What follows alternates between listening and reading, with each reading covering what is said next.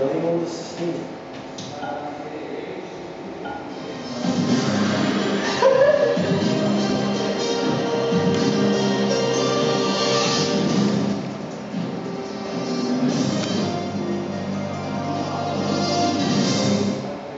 Abend. Die Stelle zwischen den ärmsten Ländern der Erde und anderen Staaten wächst. Das sagt ein UNO-Bericht über die Entwicklung in den vergangenen Jahrzehnten. Die UNO stuft 48 Länder als Grund für die Lage ist eine schlechte Bildung, Gesundheit, Ernährung und Infrastruktur, sowie die Abhängigkeit von der Landwirtschaft und der regionalen Exportwirtschaft.